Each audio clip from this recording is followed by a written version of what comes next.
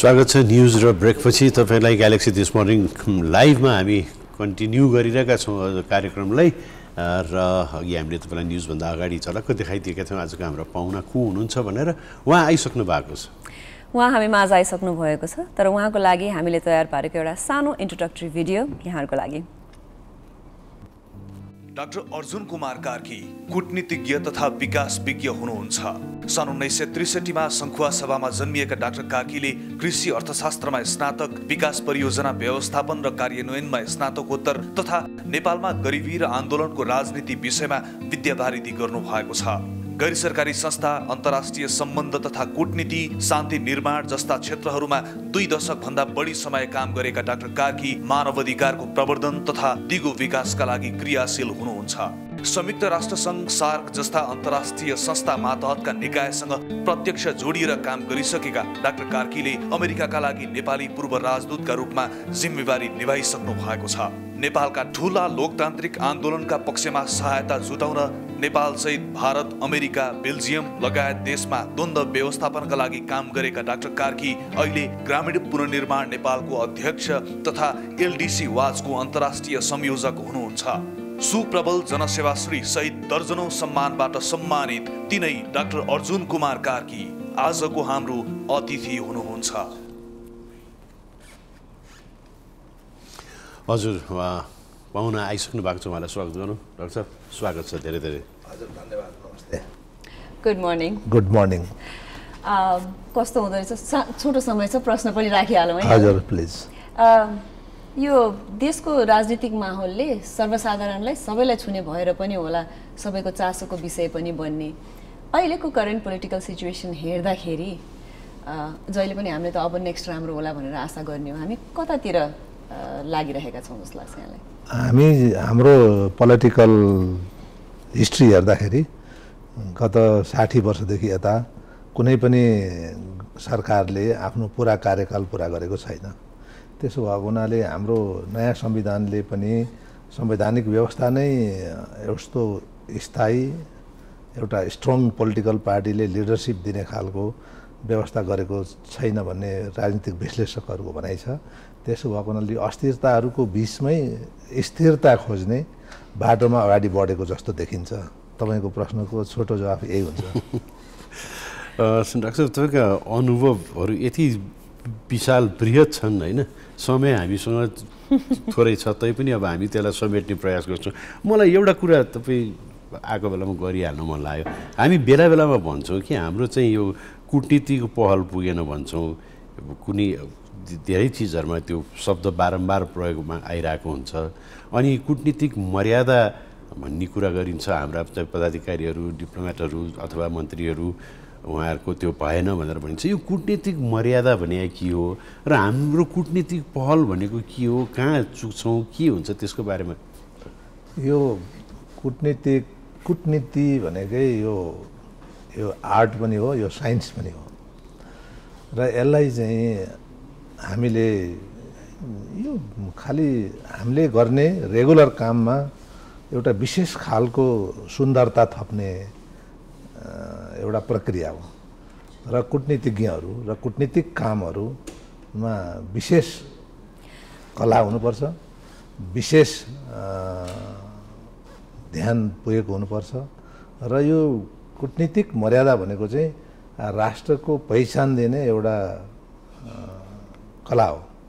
त्यसो भएको हुनाले सर्वसाधारण मान्छेहरूले आलोचकहरूले टिप्पणीकारहरूले के एक्सपेक्ट गर्छन् भने कुटनीतिक कामहरू भनेको चाहिँ विशेष मान्छेहरूले गर्ने विशेष ज्ञान भएको विशेष कला भएको व्यक्तिहरूले गर्ने व्यवहार हो। र त्यो सिङ्गो राष्ट्रको छविसँग गाँसिएको हुन्छ। र हामीले अरू सर्वसाधारणले गर्ने काम उनीहरूले प्रस्तुत गर्ने कला आफ्नो दैनिक काममा र कुटनीतिज्ञले गर्नेमा विशेष फरक हुनुपर्छ। जस्तो उसको उसले कहिलेकाहीँ के बोलेको छ भन्दा पनि कसरी बोलेको छ भन्ने कुराको अर्थ लाग्छ। के लगाएको छ? कसरी हिँडेको छ? कसरी बोलेको छ?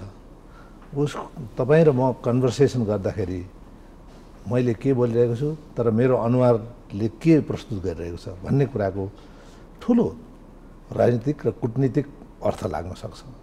त्यसैलाई समग्रमा हामी के भन्छौँ भने यो कुटनैतिक मर्यादा। म तपाईँको अगाडि आज कसरी प्रस्तुत भएँ मैले तपाईँले सोधेका जिज्ञासा प्रश्नहरूको जवाब कसरी दिएँ? त्यो मर्यादित थियो कि थिएन? त्यो कलात्मक थियो कि थिएन? त्यो विशिष्ट खालको थियो कि थिएन?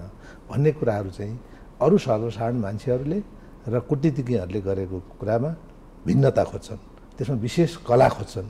र त्यसैलाई हामीले मर्यादा पुग्यो त्यो कला पुगेन भने त्यसभित्र विज्ञान रहेन भने त्यसभित्र ज्ञान रहेन भने चाहिँ हाम्रा आम जनताले टिप्पणीकारहरूले यो कुटनैतिक मर्यादा पुगेन भनेर भन्ने गर्नुहुन्छ। फेरि पनि अझै पनि सोधेको उत्तर त्यसमै हामी हाम हाम्रो डिप्लोमेट्सहरू हामीलाई जसरी हाम्रो अरू देशमा रिप्रेजेन्ट गर्दाखेरि यहाँले पुगेन भनेर भन्छौँ भनेर त भन्यौँ। अहिलेसम्मलाई हामीले राइट क्यान्डिडेटहरू राखेका छौँ त? कस्तो छ भनेदेखि यसलाई एउटै बास्केटमा राख्नु हुँदैन। सबै देशमा कुटनीतिज्ञहरू सर्वगुण सम्पन्न हुँदैनन्। हाम्रोमा पनि टाइम एन्ड एगेन गुनासोहरू आएका छन्। कहिलेकाहीँ राजनीतिक पार्टीहरूको नेताहरूको बाध्यता अनुसार कुटनीतिज्ञहरू अपोइन्ट गर्ने चलन पनि छ। त्यो हाम्रो देशमा मात्रै छैन अरू देशमा पनि छ। तर समग्र रूपमा चाहिँ के हो भनेदेखि हाम्रो जुन कुटनीतिक इतिहास छ जसरी राजनीतिक इतिहास छ सिङ्गो मुलुकको इतिहास छ हाम्रो देशको पनि कुटनीतिक इतिहास छ। हामीले कतिपय अवस्थामा प्रधानमन्त्री भएका मान्छेलाई राजदूत बनाएर पठाएका छौँ। कतिपय अवस्थामा र ठुलो राजनीतिक पदमा भएका वरिष्ठ नेताहरूलाई पनि हामीले राजदूत बनाएर पठाएका छौँ। भने कहिलेकाहीँ हामीले लामो कुटनीतिक करियरमा बसेर काम गरेका मान्छेहरूलाई राजदूत बनाएर पठाएका छौँ। भनेपछि यसमा मिक्स्ड हामीले यो कहिलेकाहीँ सबै नेगेटिभ होइन ग्लास चाहिँ हाफ फुल हो कि हाफ एम्टी हो। त्यसरी बुझ्नुपर्छ भन्ने मलाई लाग्छ। र हरेक देशमा मुलुकमा यो हुने गर्छ। हाम्रो पनि त्यही हो मिक्स छ। हजुर त्यो हुन्छ पोलिटिकल अपोइन्टमेन्ट मैले माने होइन।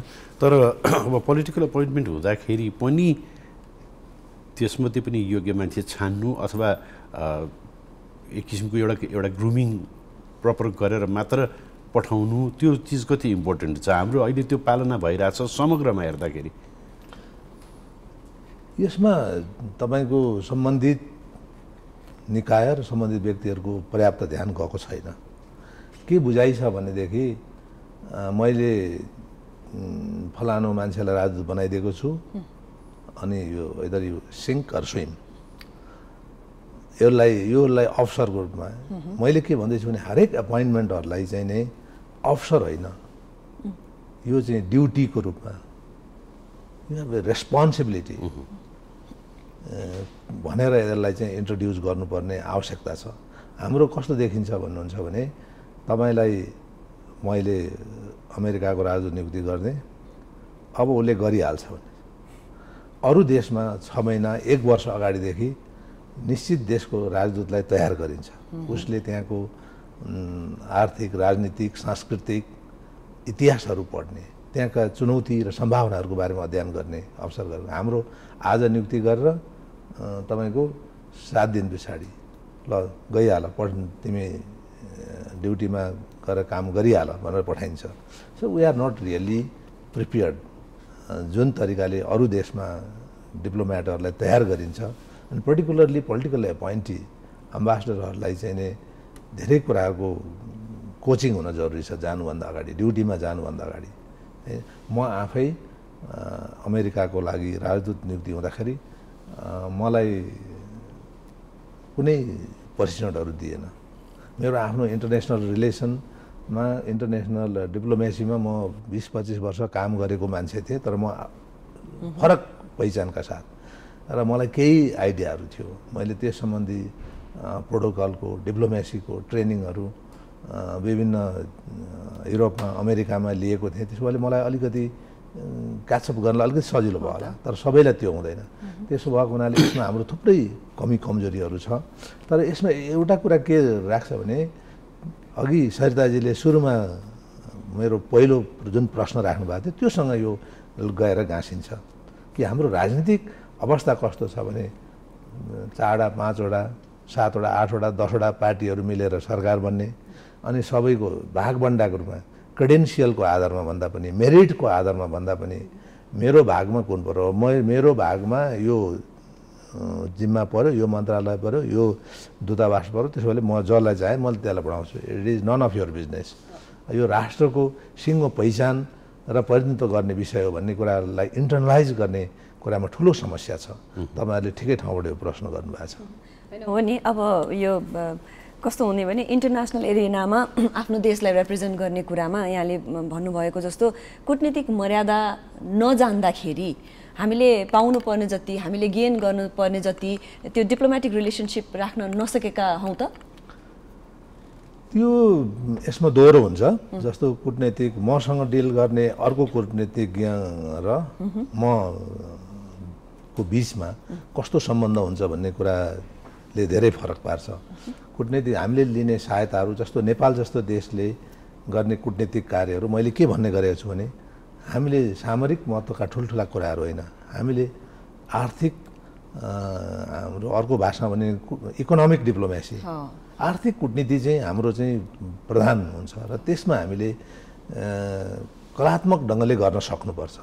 र जहिले पनि हामी के भन्छौँ भने हामी गरिब छौँ हामी अति कम विकसित छौँ हामीलाई केही सहायता चाहिएको छ भनौँ भने त्यो त्यसमा कुटनैतिक कला प्रस्तुत भएको मानिँदैन।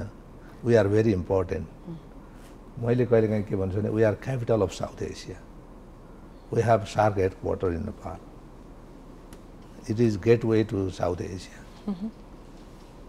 we are very important तिमी नेपालमा आयो भने सम्पूर्ण साउथ एसियामा तिमी चाइना इन्डियामा जाने एउटा प्रवेशद्वार हो Nepal. It we are very important हामी गरिब दरिद्र हामीलाई ठुलो समस्या छ तपाईँहरूले हामीलाई सहायता गर्नु पऱ्यो भनेर जाने। त्यस त्यस कला पार्ट यहाँनिर चाहिँ अलिकति कुटनीतिक यो मर्यादा भन्दा पनि कुटनीतिक सिपको कुरा गरौँ न। डिप्लोमेटिक स्किलको कुराहरू पर्छ। र कसैले पनि हामीलाई दुःख छ त्यसो भए यसलाई सहायता गरौँ भन्ने देशहरू मैले देखेको छैन। मैले तिस वर्ष जति यो इन्टरनेसनल रिलेसन इन्टरनेसनल एसिस्टेन्सको एरियामा काम गरेँ। गर्ने होला होइन। We are important for you तिम्रो लागि हामी जरुरी छौँ भनेर हामीले प्रस्तुत गर्न सक्नुपर्छ। यसरी हुने हो। त्यसो भएको हुनाले दोहोरो कुरा हो। कहिलेकाहीँ चाहिँ सहायता गर्ने देशको पनि सहयोग गर्ने देशको पनि इन्ट्रेस्ट हुन्छ। कहिलेकाहीँ हाम्रो इन्ट्रेस्ट हुन्छ। कहिले हामीले तिम्रो प्रायोरिटी अनुसार त नेपालमा सहयोग गर्नुपर्ने हो नि भनेर जान सक्नुपर्छ भन्ने मलाई लाग्छ। अझै पनि international relation least develop countries यी बारेमा हामीलाई यहाँसँग कुराकानी गर्न बाँकी नै छ तर अहिलेलाई भने एउटा छोटो ब्रेकको समय भएको छ। ब्रेकपछि will be right back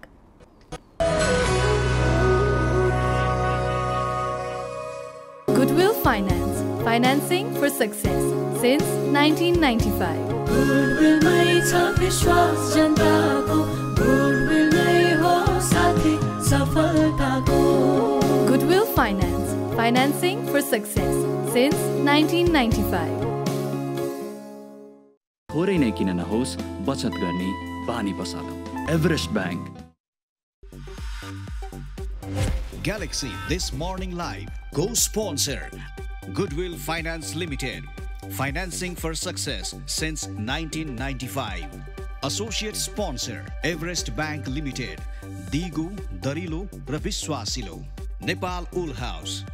Bhotahiti Asan Kathmandu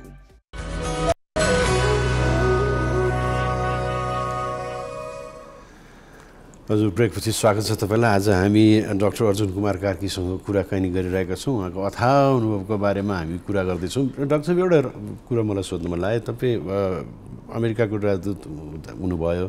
त्यो अमेरिकासँगको राजदूतको एउटा हाम्रो देशको इम्पोर्टेन्स हामी सबैजनालाई थाहा छ। तर सँगसँगै तपाईँ नन रेजिडेन्सियल एम्बेसडर भनेर कोस्टारिका होन्डुरस पनामा गुवाटेमालाको पनि राजदूत हुनुहुन्थ्यो होइन? यी देशहरूसँग हाम्रो सम्बन्ध के हो? कति इम्पोर्टेन्ट हो? त्यो त्यसको के हुन्छ त्यो? कसरी हुन्छ त्यो? त्यसको औचित्य अर्थ के हो? पानामा चाहिँ होइन। म चाहिँ Nicaragua Costa Rica Guatemala Honduras Guyana Mexico हजुर। कोलम्बिया लगायतको देशहरूको नन रेजिडेन्ट एम्बासडर थिए हाम्रो अहिले धेरै कुराहरू उहाँहरूसँग चाहिँ नै सम्बन्धित छ। सबभन्दा ठुलो चाहिँ माइग्रेसनको इस्युहरू धेरै आइरहेको छ।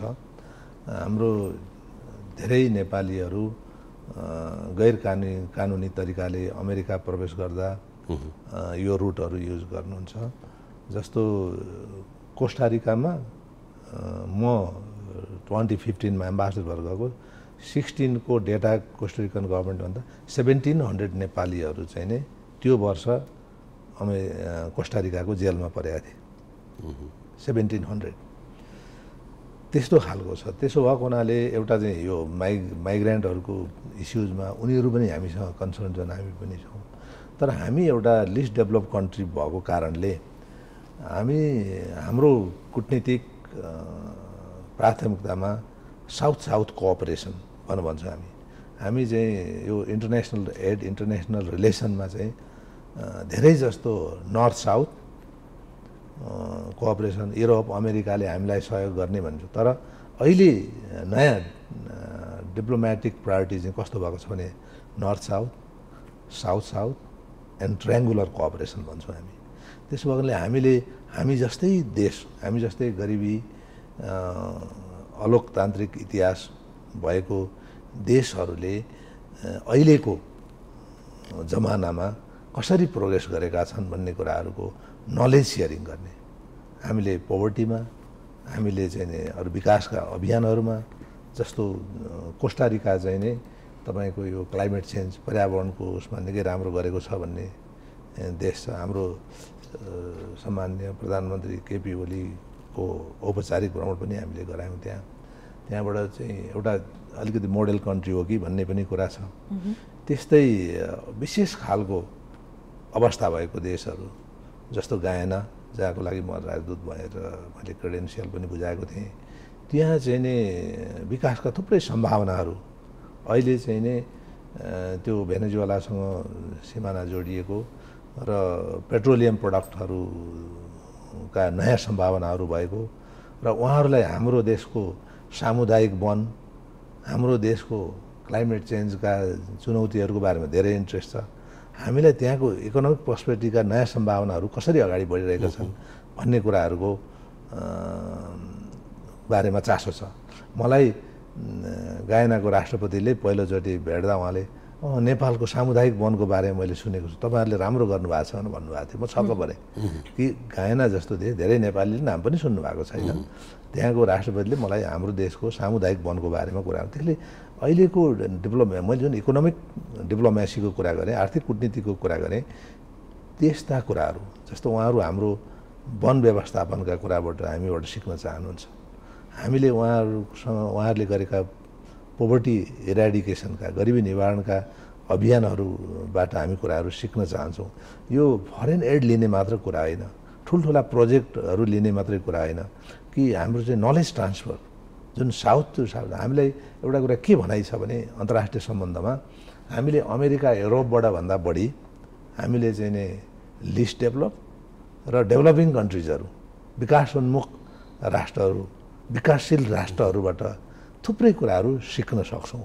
त्यसो भएकोले यो साउथ साउथ कोअपरेसन अथवा कतिपय अवस्थामा नर्थ साउथ साउथ साउथ र ट्रायङ्गुलर कोअपरेसन एकदमै इम्पोर्टेन्ट छ। त्यसो भएको हुनाले अब अमेरिकामा बस्ने अथवा त्यो रिजनमा बस्ने धेरै राजदूतहरूले रेजिडेन्सियल अम्बासडर अमेरिकामा भए पनि कसैले दसवटा पन्ध्रवटा अरू देशमा नन गैर आवासीय राजदूतको रूपमा चाहिँ काम गरिराख्नु भएको हुन्छ।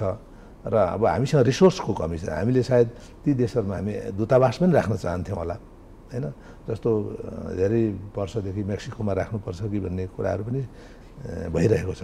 तर हामीसँग चाहिँ रिसोर्सको कमी भएको कारणले नन रेजिडेन्सियल एम्बासडरहरू चाहिँ नि तोक्ने र उहाँहरूले त्यहाँको बिचमा गभर्मेन्ट टु गभर्मेन्ट रिलेसनलाई स्ट्रेन्थेन गर्ने र इन्टरनेसनल रिलेसनमा खास गरी युनाइटेड नेसनको भोटिङमा हामीले हामी चाहिँ यो शान्ति स्थापनार्थ पिस किपिङमा एउटा महत्त्वपूर्ण योगदान पुर्याउने देश हो।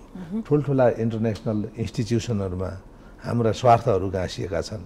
ती इन्स्टिट्युसनहरूलाई इन्फ्लुएन्स गर्ने कुरामा कहिलेकाहीँ हामी ठुला शक्तिशाली राष्ट्रहरूको सहायताभन्दा किनभने युएनमा त वान कन्ट्री वान भोट हो नि। अमेरिका बेलायत जर्मनी र कोस्टारिका ग्वाटेमाला होन्डुरस गायनाको एउटै हो नि भोटिङ राइट हो। उहाँहरूको धन सम्पत्ति प्रभाव अनुसार फरक पर्ला उपस्थिति तर त्यो त्यसो भएको हुनाले त्यो रिलेसनलाई चाहिँ नै हामीले स्ट्रेन्थेन गर्नका निम्ति उहाँहरू यी देशहरूको सम्बन्ध चाहिँ नेपालसँग राम्रो हुन आवश्यक छ। ठ्याक्क यो एडहरूको कुरा गर्दाखेरि हामी एज अ लिस्ट डेभलप्ड अथवा डेभलपिङ कन्ट्री बाहिरबाट आउने एडहरू चाहिँ अहिले जुन हुन त रसिया र युक्रेनको वारले हामीलाई खासै के फरक पर्छ र भन्दै गर्दा हामीलाई आउने यस्तो एडहरूमा फरक परेको छ कि छैन? यसलाई यसले अहिलेलाई खासै भन्नुपर्दा हामीलाई घाटा लागेको त छैन कतै? हामीलाई मात्र होइन यो समग्र there are forty six UN define least develop countries यो संयुक्त राष्ट्रसङ्घले परिभाषित गरेका छयालिसवटा विकसित राष्ट्रहरू छन्। त्यो मध्ये अहिले हामी नेपाल पनि हौँ र खास गरी यो शक्तिशाली राष्ट्रहरू डिभाइडेड भएको कारणले गर्दाखेरि अन्तर्राष्ट्रिय एडहरू हामी जस्ता अति कम विकसित राष्ट्रहरूमा आउने अन्तर्राष्ट्रिय सहायताहरू त्यो सरकारी मात्र होइन इभन गैर सरकारी क्षेत्रबाट एनजिओ आइएनजिओबाट आउने एडहरू पनि सम्पूर्ण अहिले चाहिँ नै युक्रेनमा फोकस भएको कारणले गर्दाखेरि यो इन्टरनेसनल डेभलपमेन्टमा यसको ठुलो असर परेको छ। तपाईँले ज्यादै महत्त्वपूर्ण प्रश्न उठाउनु भयो हामी धेरै जसो यो युक्रेन रसियाको कुराहरू उठाउँदाखेरि कुन देशले कहाँ भोट हाल्यो के गर्यो हामीले नेपालले पक्षमा विपक्षमा एब्सेन्ट अथवा एब्सटेन गर्नु पर्थ्यो भन्ने कुराहरू उठ्छ। तर वास्तवमा यसको ठुलो इम्प्लिकेसन चाहिँ नि अन्तर्राष्ट्रिय हाम्रो जुन रेस्पोन्सिबिलिटी छ पोभर्टी इनक्वालिटी इन्जस्टिसलाई एड्रेस गर्ने इन्टरनेसनल एड इन्टरनेसनल कोअपरेसनमा ठुलो ह्रास आएको छ। र यसलाई चाहिँ नि गम्भीरतापूर्वक लिनुपर्छ भनेर युनाइटेड नेसनका केही प्रोग्राम केही डिपार्टमेन्टहरूले गम्भीरताका साथ उठाइरहेको अवस्था छ अहिले। हजुर अब एकछिन कुरा गरौँ यो एलडिसी वाचको चाहिँ ग्लोबल कोअर्डिनेटर पनि हुनुहुन्छ यहाँ। यसको बारेमा हामीलाई केही बताइदिनुहोस् न। यो चाहिँ नाइन्टिन सेभेन्टिजमा त्यति बेला चौबिसवटा संयुक्त राष्ट्रसङ्घले चाहिँ नै अति कम विकसित राष्ट्रहरू भनेर चाहिँ घोषणा गरेको थियो। त्यसको the whole idea of creating LDC as a group of country was to mobilise resources to address the development challenges of these country वास्तवमा अति गरिब देशहरूलाई चाहिँ विशेष खालको अन्तर्राष्ट्रिय सहायताहरू उपलब्ध गराउने। त्यसले गर्दा उहाँहरू त्यसबाट ग्रेजुएट भएर अ, अरू विकसित अथवा विकसित राष्ट्रहरू बन्न सकौँ भनेर नाइन्टिन सेभेन्टिजमा युनाइटेड नेसनको महासभाबाट अ, निर्णय भएर एउटा क्रिएट गरेको एउटा ब्लक ग्रुप अफ कन्ट्रिज हो। Nepal is one of them र तर के भयो भने संसारको डेभलपमेन्ट यो प्याराडाइम डेभलपमेन्ट मोडेल चाहिँ नि गरिब देशहरूको पक्षमा छैन गरिबको पक्षमा छैन भनेर नागरिक समाजले विकासका अभियन्ताहरूले धेरै उठाइरहेका छन्। र एउटा इक्जाम्पल के पनि हुनसक्छ भनेदेखि नाइन्टिन सेभेन्टिजमा चौबिसवटा देश थियो अति कम विकसित राष्ट्र। त्यति बेला यो चौबिसवटालाई घटाएर थोरै बनाउनुपर्छ। भन्ने थियो। तर अहिले हामी के भन्छ फोर्टी सिक्स केही वर्ष अगाडिसम्म फोर्टी नाइन होइन? अलिक अगाडि फिफ्टी वानसम्म थियो अति विकसित राष्ट्र। भनेपछि तपाईँको यो अहिलेको डेभलपमेन्ट प्याराडाइम डेभलपमेन्ट मोडेल गरिब देश र गरिब जनताको पक्षमा छैन भन्ने एउटा चाहिँ इभिडेन्स चाहिँ यो पनि हो। किनभने रायर देन ग्रेजुएटिङ अहिलेसम्म हामीले मेरो विचारमा छवटा देशहरू मात्रै ग्रेजुएट भएका छन्। किन? एउटा अर्को चाहिँ यो सिक्किम पनि त्यति बेला लिस्ट डेभलप कन्ट्री भनेर मानिन्थ्यो। सिक्किम चाहिँ भारतमा समावेश भएपछि अब त्यो पनि एउटा सङ्ख्या घट्यो। तर यो बेसिकल्ली इन्टरनेसनल डेभलपमेन्ट च्यालेन्जलाई अन्तर्राष्ट्रिय यो विकासका क्रिटिकहरूले चाहिँ नै क्वेसन गर्ने एउटा ठुलो क्षेत्र हो यो। र यसलाई चाहिँ नै हाम्रो संसारका विभिन्न डेभलपमेन्ट विकासका विषयमा अध्ययन गर्ने अध्ययता र लबिङ एडभोकेसी र नेटवर्किङ गर्ने समूहहरूले के भनिरहेको छ भने अहिलेको international development model development paradigm चाहिँ नि गरिब देशहरूको पक्षमा छैन भन्ने सबभन्दा ठुलो इभिडेन्स नै यही हो कि एलडिसिजहरू ट्वेन्टी फोरबाट फोर्टी सिक्स भएका छन्। अब यो सुन्दै गर्दाखेरि not something that we would like to hear तर पनि यो सुन्दै गर्दाखेरि हामीले जहिले पनि भन्छौँ नि हाम्रो भौगोलिक बनोट यति ठुल्ठुला शक्तिशाली राष्ट्रको बिचमा हामी छौँ अनि भर्खरै पनि हामीले इकोनोमिक डिप्लोमेसीको कुरा गऱ्यौँ। यी सबै चिजलाई हेरेर आगामी आउने दिनमा हामी यो लिस्टबाट ग्रेजुएट हुन सक्ने अथवा अलिकति जहिले पनि यो अन्डर डेभलप्ड कन्ट्रीको लिस्टमा बस्न नपर्ने यो त्यो बाटोतिर हामी लाग्न सकिने हाम्रो फ्युचर छ कि छैन? बिल्कुल यो मैले विकास सम्बन्धी एडभोकेसी काम गर्दा लबिङ गर्दा कुटनीतिक कार्यहरू गर्दा के भन्ने गर्छु भनेदेखि हाम्रो चाहिँ संसारमा सबभन्दा धेरै सम्भावना भएको देश। हामी यति सानो देश हाम्रो उत्तर दक्षिण लगभग दुई सय किलोमिटर एरियल डिस्टेन्स लगभग नौ सय किलोमिटर जति पूर्व पश्चिम एउटा इँटा आकारको देश। राम्रो हाई स्पिड रोड बनाउने हो भने भारतको सिमानाबाट चिनको सिमाना पुग चाहिँ एक डेढ घन्टामा पुग्ने बाटो बनाउन सकिने ठाउँ अन्तर्राष्ट्रिय स्तरको बाटो बनाउने हो भने अनि within two hundred kilometre forty metre above sea लेभलदेखि highest peak of the world भएको जुन यो तपाईँको चाहिँ नि यो बायोडाइभर्सिटी तपाईँको हाम्रो चाहिँ नि जियोग्राफिकल भेरिएसन हेर्नुहोस् त संसारको कुनै पनि देशमा। यति सर्ट डिस्टेन्समा यति धेरै सम्भावना भएको बायोडाइभर्सिटी एडभान्टेज भएको कहीँ पनि छैन। हाम्रो देशमा राउन्ड द इयर स्नो हुने ठाउँदेखि लिएर तपाईँको पचास चालिस पचास डिग्री सेल्सियसको टेम्परेचर हुने वेदर चाहिँ एकैचोटि एकै ठाउँमा हुने देश र त्यो पनि विदिन टु हन्ड्रेड किलोमिटर कतिपय ठाउँमा त विदिन हन्ड्रेड किलोमिटरको डिस्टेन्समा त्यस्तो भेरिएसन छ। त्यसलाई हामीले यसको हाम्रो क्लाइमेटिक एडभान्टेजहरू जुन भेरिएसनहरू छ त्यसबाट हामीले लिने फाइदाहरू जस्तो हामी हाम्रा सबभन्दा धेरै रिसोर्सेसहरू चाहिँ नि हामी एउटा चाहिँ नि खाद्यान्न निर्यात गर्ने देश होइन? केही वर्ष अगाडिसम्म थियौँ भने अहिले खाद्यान्न आयात गर्ने। हामी फलफुल आयात गर्छौँ हामी चा धान चामल आयात आयात गर्छौँ हामी मकै आयात गर्छौँ हामी लसुन प्याज आयात गर्छौँ भनेपछि हामी कृषि प्रधान देश। कृषिको यस्तो प्रचुर सम्भावना भएको देश।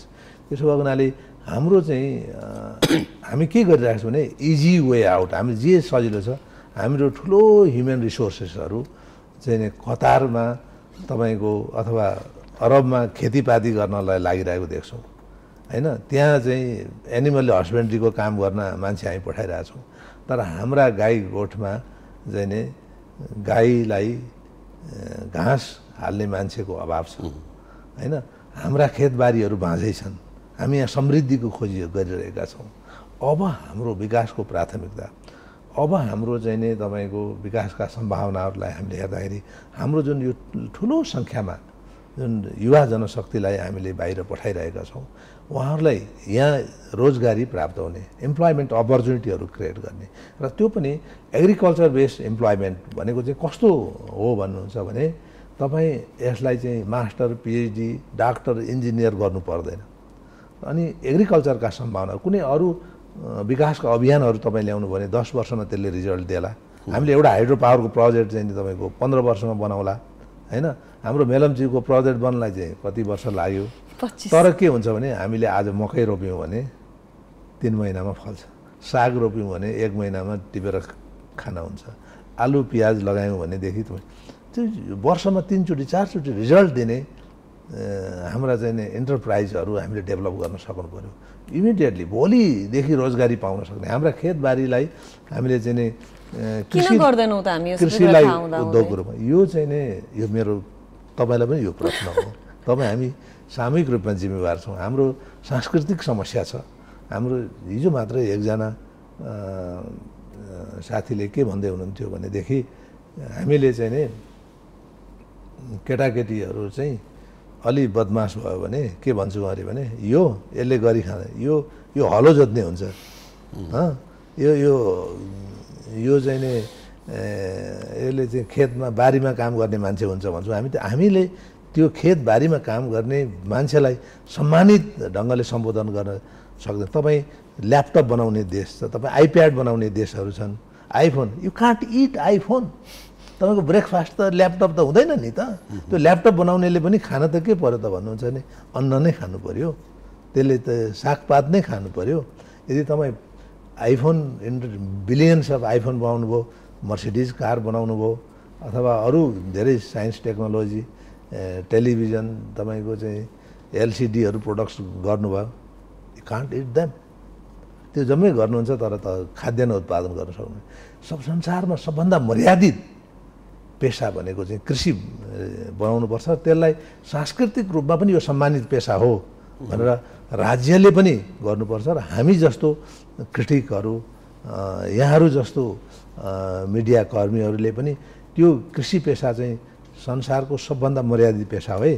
किनभने विदाउट दिस आइफोन बिना तपाईँ बाँच्न सक्नुहुन्छ हामी बाँचेकै हो। होइन? ल्यापटप बिना पनि हामी बाँचेकै हो। तर खाना बिना बाँच्न त सक्दैनौँ हामी। त्यसोले this should be must respected